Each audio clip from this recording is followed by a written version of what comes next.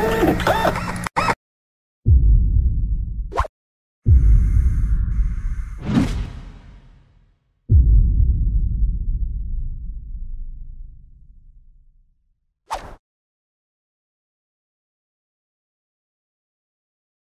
Bueno, vengo a este evento para apoyar eh, la causa de, todas las personas que estamos indignadas por lo que sucedió en Ayotzinapa y por lo que está sucediendo todos los días en, nuestro país con, la injusticia, la violencia y la falta de certeza con respecto a nuestra seguridad.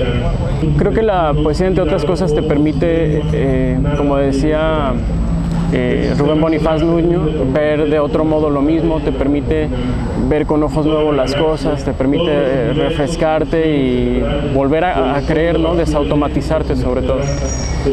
Una grieta en el mundo, un espacio de silencio inexplicable en el centro mismo del bullicio.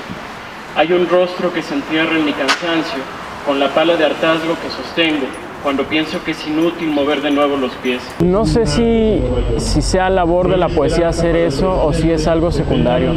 Yo tendría temor de hacer poesía con, con esta consigna porque creo que caeríamos en hacer eh, textos panfletarios. Yo creo que si, si logra que haya conciencia social es de una forma, digamos, indirecta, no, no que la poesía se escriba para eso. Sobre todo, creo yo, educación es un país muy poco educado, es un país lleno de analfabetos prácticos porque el tener primaria, secundaria o licenciatura no asegura que haya un pensamiento verdadero, no asegura que, sea un país de, verdaderos lectores, de verdadera gente crítica, creo que es eso. Nos falta mucha educación y nos falta mucho un sentido crítico que, que sobre todo en México más bien está como penado. Un hombre que se vuelve número, un número que entierra a una persona, una persona convertida en estadística.